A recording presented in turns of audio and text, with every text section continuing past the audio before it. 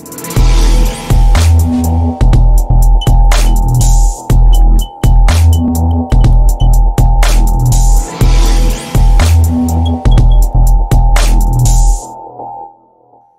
in this video we will learn about how to select RoundCube as default webmail application from cPanel. If you want to select RoundCube as your default webmail application, then in that case log into cPanel and then go to email account section. Now here click over access webmail in front of a particular email ID where you would like to select default webmail client. Now here, once you see three webmail application clients, select the middle option that is RoundCube as default. This will further be highlighted as a star mark.